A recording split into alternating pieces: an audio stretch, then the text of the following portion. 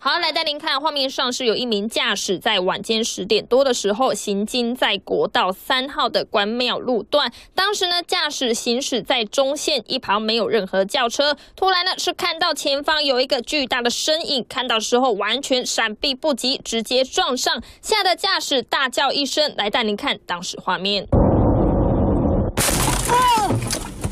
驾驶撞到后呢，是赶紧下车查看，才发现撞到一头体长一百八十公分的水鹿，水鹿当场身亡，鹿角也被撞断一只。驾驶表示当场被吓了好一大跳。当我看到，当我的看到他的时候，要踩刹车的时候，已经来不及了，因为他是横，他是横站，嗯，他是横站在中线道，他不是直站，他是横站，就是。